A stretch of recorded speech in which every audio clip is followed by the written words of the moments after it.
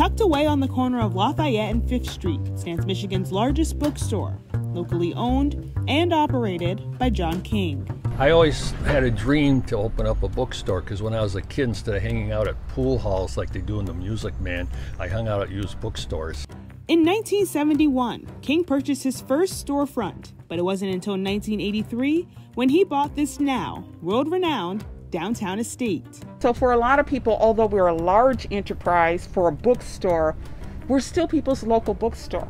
The John King Library has come a long way. Well, we started with eight books back in 1965. Now, this bookstore has more than a million books, and some of them are more than a hundred years old. We just grew. We just uh, we sold books, bought books, and just we stayed on mission, which was to buy and sell used books, and we haven't deviated since the beginning. Books at the used and rare books bookstore can cost a customer anywhere from $10 to $150,000. For a very rare book, like a first edition Hemingway or a Tolkien or And while the pandemic caused a brief hiccup in business, King says business is ramping up again.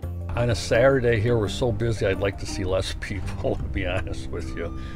Store manager Deborah Lee says since the store's reopening, young adults have flocked here, and she's urging everyone else to do the same.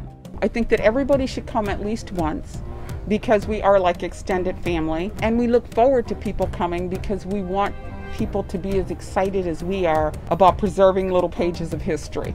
In Detroit, Jetty Johnson, 7 Action News.